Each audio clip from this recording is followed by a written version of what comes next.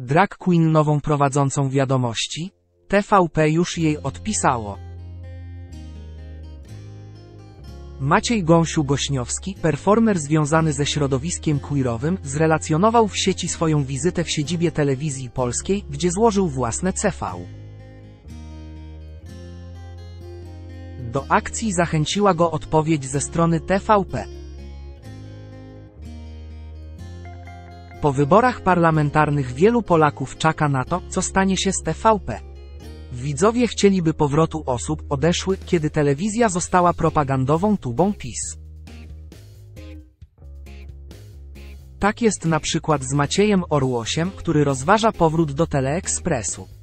Są też osoby, które mają chrapkę na posady dziennikarzy dobrej zmiany. Jedną z nich jest polska drag queen, która ma ochotę poprowadzić pytanie na śniadanie lub zastąpić Danutę Cholecką w wiadomościach. Polska drag queen, w którą wciela się performer o pseudonimie Gąsiu, chętnie widziałaby siebie w roli prowadzącej wiadomości zamiast Danuty Choleckiej. Mogłaby też prowadzić pytanie na śniadanie. Kuje żelazo, póki gorące, i skoro już jest pewne, że zmiany w TVP przyjdą, to nie traci czasu i spełnia marzenia o byciu gwiazdą telewizji polskiej. Jakiś czas temu Gośniowski zgłosił swoje zainteresowanie posadą w TVP, o czym informował w mediach społecznościowych. Okazuje się, że jego pytanie spotkało się z zachętą ze strony nadawcy, więc postanowił osobiście złożyć swoje CV na Woronicza. Wizytę zrelacjonował na Instagramie. Elo, jesteśmy właśnie przed TVP, przed telewizją publiczną i nie wiem, czy pamiętacie, ale wrzuciłem do siebie na relację, czy mogę już składać CV do TVP. Na co oni mi odpisali, abym sprawdził stronę internetową, ale nie było tam żadnych ofert, które by mnie satysfakcjonowały.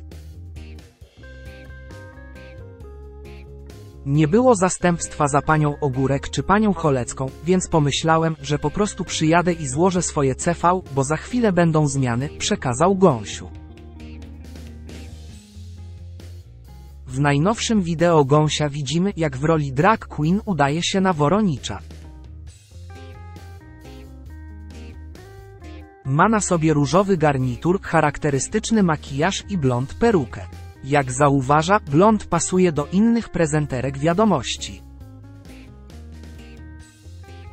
Ja bym chciał złożyć CV tutaj na osobę prowadzącą wiadomości albo pytanie na śniadanie. Gdzie mógłbym je złożyć? spytał osobę z recepcji. Dostał odpowiedź, że może to zrobić w kancelarii lub przez specjalną skrzynkę.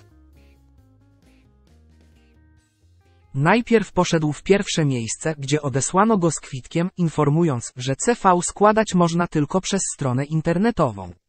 W takim wypadku postanowił złożyć dokumenty we wcześniej wskazanej skrzynce. Tu jest co prawda napisane, żeby CV składać tylko przez stronę internetową, no ale tam ofert interesujących mnie nie było. Ja chcę prowadzić wiadomości albo pytanie na śniadanie, więc wrzucam, może akurat ktoś przeczyta. No i już. CV złożone. Zobaczymy, co z tego będzie. Trzymajcie kciuki, przekazał z entuzjazmem i nadzieją Gąsiu.